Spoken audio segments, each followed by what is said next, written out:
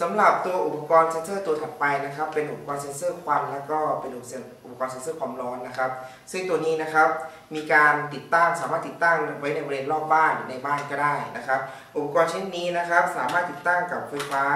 ที่เป็นแบตเตอรี่9โวลต์นะในกรณีไฟฟ้าตัดมันก็สามารถทำงานได้ ถึงไฟฟ้าภายในบ้านคุณไม่มีนะครับมันก็ทำงานได้ตลอดเวลา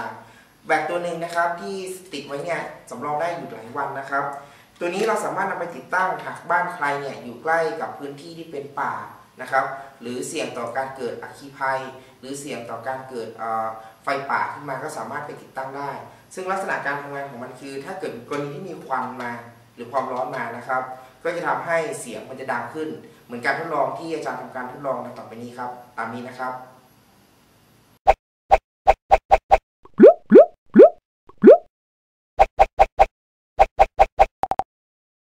ครับ อุปกรณ์ถัดไปนะ คืออุปกรณ์เซ็นเซอร์ควันครับ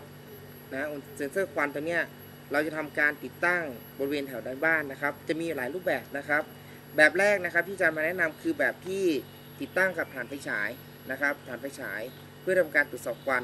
นะแบบที่สองนะครับคือติดตั้งกับถ่านไฟฉายด้วยด้วยกันนี่แหละนะครับ เป็นพลังงาน และมีอุปกรณ์ตัวหนึ่งนะครับ ที่เป็นอุปกรณ์ delay สามารถควบคุมไฟฟ้าภายในบ้านได้เช่นกันครับ ตัวนี้ที่อาจารย์เอามานี่เป็นตัวแค่ตัวเริ่มต้นเท่านั้นนะครับ วิธีการก็คือว่าเมื่อมีควันนะครับอาจารย์ทำการจุดไฟนะ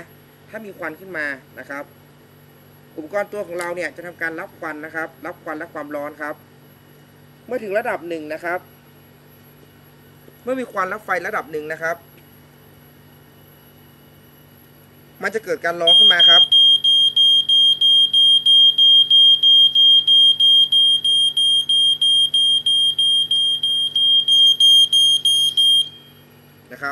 นี่คือตัวอย่างของการที่ทำให้เกิดควันไฟขึ้นนะครับ ในการทดลองเนี่ยควรทดลองที่ข้างนอกนะครับ สถานที่ไม่ควรทดลองในห้องนะครับ เพราะว่าอาจจะเกิดเพลิงไหม้ได้นะอันนี้ก็เป็นตัวอย่างหนึ่งนะครับ ถ้าเกิดเราซื้อแบบรุ่นที่มีตัวสวิตช์นะครับ ก็สามารถไปต่ออุปกรณ์ไซเรนที่ดังมากกว่านี้ หรืออุปกรณ์ที่เป็นพวกตัวอื่นๆนะครับ แล้วแต่ว่าเราจะติดตั้งเป็นอะไรอาจเป็นโทรศัพท์หรืออะไรก็ได้ที่สามารถแจ้งเตือนได้ว่าเกิดเหตุเพลิงไหม้ในครัวเรือนหรือในบ้านของเราได้ครับ โอเคครับ ในบทเรียนนี้มีแค่นี้นะครับ ขอบคุณครั